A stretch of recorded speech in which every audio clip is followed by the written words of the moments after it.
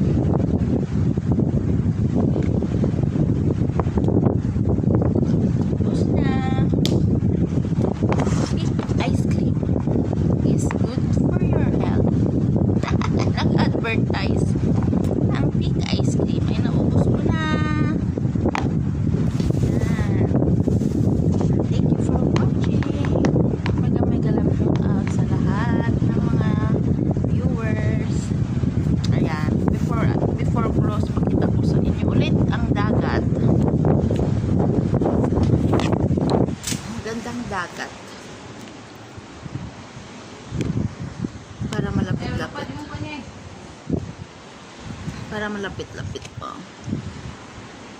Ang alon, ang alon ng dagat. Ah, laki-lakihan natin. Para makita ang dagat.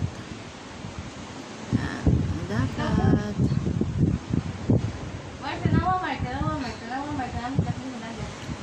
Ganda. Yun. Paikot. Ah. Ganda ng dagat. Kapag, pag ano, kapag nasa tabi ka ng dagat, parang kapag ikaw ay stress, stressful ba, mawawala ang stress mo. Ganda. Ay, sarap. Yan. Ah. Turn to the sea. Ayun o, yung bahay na yun. last week. Kasi kanila, Winlin. Yan ang bahay na yun ay abandoned house. Ito sa tapat namin. Sabi nila may mamu, pero I don't know if totoo. Pero to sabi nila daw.